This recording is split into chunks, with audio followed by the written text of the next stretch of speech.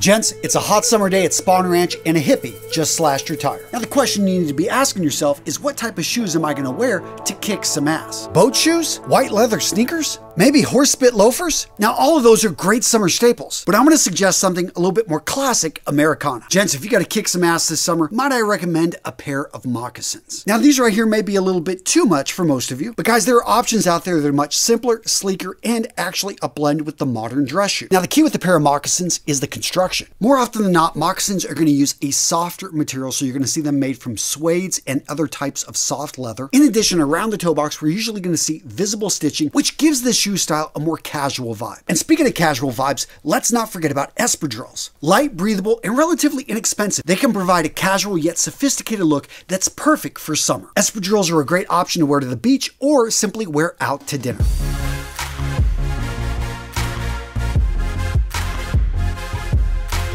Now, what if you want to dress things up during the summer? Let's look at the sports jacket, specifically the unlined sports jacket. Now, when it comes to jacket lining, you've got options. Most jackets you're going to see out there are going to be fully lined. But if you look around, you can find half line jackets, quarter line jacket, and unlined jackets. Now, I'm going to warn you, and this may sound counterintuitive, but unlined jackets in general are going to be more expensive. The reason is in the finish. When it's an unlined jacket, they've actually got to finish the inside of the jacket to make it look pretty. Fully lined jackets, which again are the majority of jackets out there, get away with the insides of the jacket not looking great because hey, they get to cover it up. But if you need to dress things up when it's hot outside, I can tell you the difference between a lined jacket and an unlined jacket made from a linen or a breathable material is night and day. It's so much more comfortable because it's so much cooler. Well, what to wear with that unlined jacket? Well, gentlemen, you can either go with a dress shirt, a polo, or today's sponsor, Collars & Co. They've created a shirt which can be either. Seriously, gents, if you haven't heard of Collars & Co., you are in for a treat. I've been working with these guys for a while as a sponsor,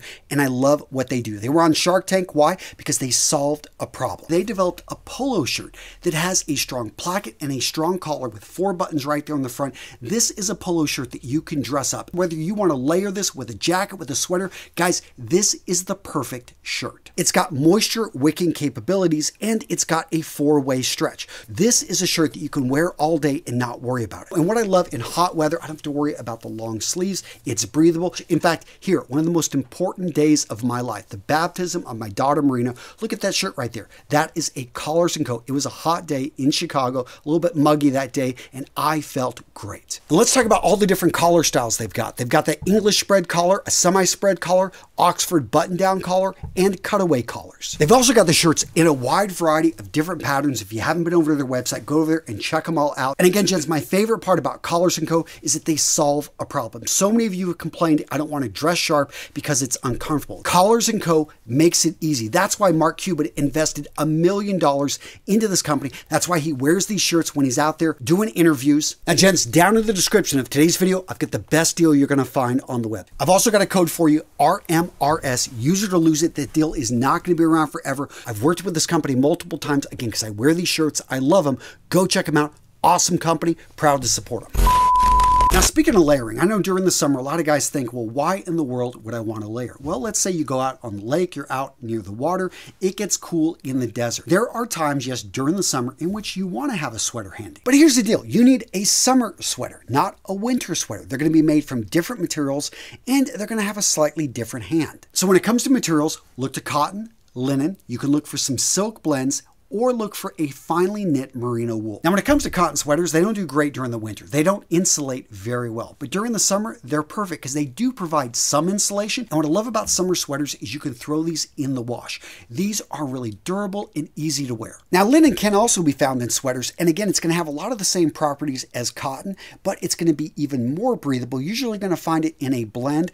But uh, I think that if you can find a linen sweater, you like the style, go for it. Silk, again, is another material that you want to find in a blend blend. And what's interesting about silk is it has this property that it feels like it actually is cooler than it is. So when you put this thing on, it's very luxurious, but be careful because this is something you're going to have to dry clean. And let's not forget about lightweight merino wool. The big advantage here is that you can wear this both in the winter and the summer. It wicks away moisture. It does a good job with regulating temperature. They are relatively easy to find. And I guess for those reasons right there, if I had to choose one, I'd probably go with that lightweight merino wool. Now, style-wise, you got a lot of options. Very similar to the winter, we're going to see the crew neck, we're going to see v-necks, we're also going to see Henley style, but I think an overlooked and really useful one during the summer is the cardigan style because that opening in the front doesn't make it as useful during the cold winter, but during the summer, you know, it just provides enough warmth on the arms, on the shoulders, on the majority of the torso, but it still has that open look, and again, it's great for layering. Next up, gents, let's talk about the perfect summer watch. Now, when I think of the perfect summer watch, I think of one that is practical. I'm talking that can stand up to summer activities like swimming, playing sports,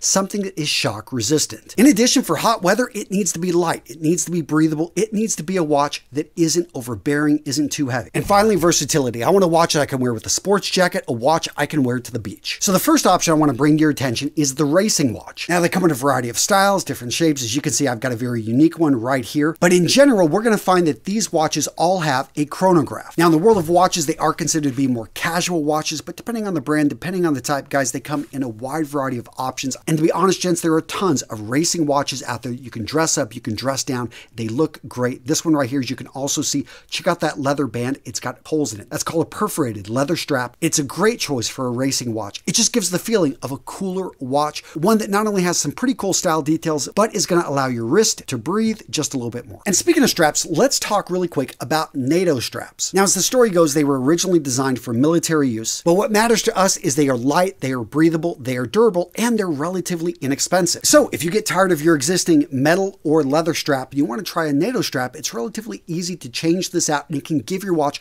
a whole other look that is perfect for the summer. And of course, let's not forget dive watches. My favorite style. I like them. You can dress them up, dress them down. Most of my dive watches are going to have metal bands, but guys, you have tons of options out there. If you want to go for something a bit more sporty, more summer oriented, then check out a rubber or a silicone strap. I will say these type of straps do make the watch just look a lot more casual. I personally prefer metal. The point being is you've got options and a stylish man knows this and takes advantage of it. Next up, let's talk about a summer bag that often is forgotten, at least by men, and that is the tote. A tote bag, by definition, is a large and often unfastened bag with parallel handles that emerge from the sides of its pouch. Basically, it's a simple square bag that you can throw things into and go. And I'll tell you, once you start to use one, all of a sudden you find tons of uses for it. If you're out running errands, this becomes your go-to just throw anything into it bag. Whether it be a notebook, whether it be your gym clothes, whether it be a small return that you don't want to lose with receipt because you got to drop it off and send it back to Amazon. Now I get why a lot of guys stay away from totes because the majority of them are sold to women. So look for a tote that is designed for a guy. In general, these are going to be simple, streamlined, made from canvas or leather. I also like it when they just have a single large compartment, maybe one on the side, so you can hold the small things you don't want to lose. In summary, if you've been looking for a bag that can do everything, this may be the one. Now, we talked about shoes at the beginning of this video, but one thing I didn't mention is no-show socks. Now, the key here is to find a style, find a pair that actually works for you. A lot of guys buy one pair of no-show socks and they slide down the foot and they're like, ah, these things suck. They're not for me. Well, gents, find a different brand, find a different style, find one with a better elastic or silicone rubber on the inside that keeps it right there on the heel. Because when you get a pair of no-show socks that do their job, they're comfortable comfortable, they look good, and they level up your style. Now, this next item I fell into by accident. It was probably a decade ago. I was at the Oshkosh Air Show here in Wisconsin,